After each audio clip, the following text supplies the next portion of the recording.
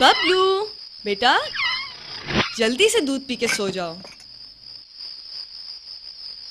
हम्म तो चंदा मामू देखा जा रहा है।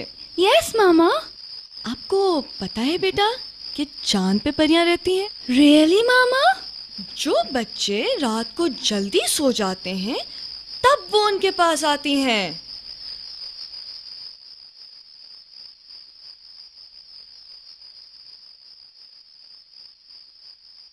मामा, जब मैं सो जाऊँगा तो क्या वो तो मेरे पास आएँगी? जी हाँ बेटा।